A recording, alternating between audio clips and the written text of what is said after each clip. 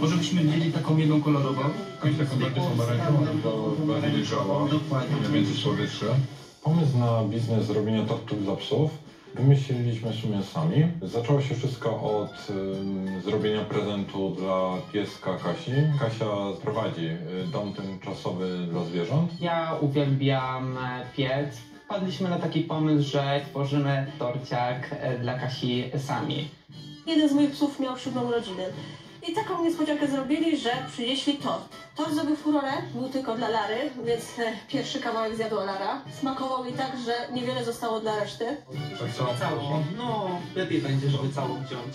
Nie mieliśmy problemu, aby stworzyć tort dla zwierząt, ponieważ jestem z zawodu technikiem weterynarii Ja jestem z zawodu technikiem farmacji i mamy szeroką wiedzę na temat żywienia zwierząt. oraz ziołolecznictwa.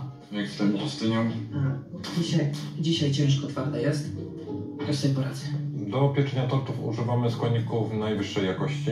Zazwyczaj są to produkty od lokalnych gospodarzy. My raczej kupujemy je na targowisku, y, gdzie mamy pewność, y, że pochodzą ze znanych źródeł. Do torciaków używamy mięsa, warzyw, także dużej ilości ziół.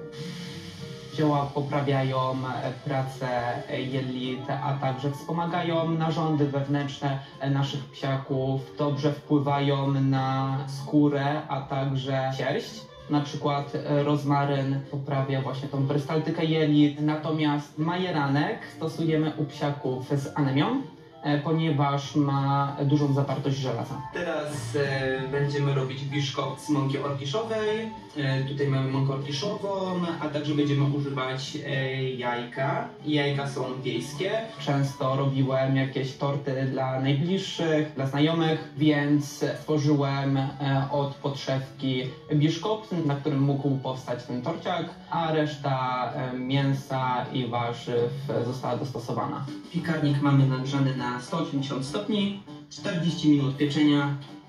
Masy, których używamy do naszych tortów, y, składają się z mięsa, y, z warzyw oraz ziół. Tutaj zależy od preferencji tak naprawdę naszych pupili czy alergii.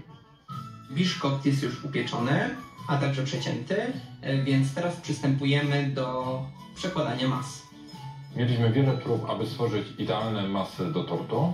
Próbowaliśmy różnych warzyw, różnych proporcji, a testerami były nasze psiaki.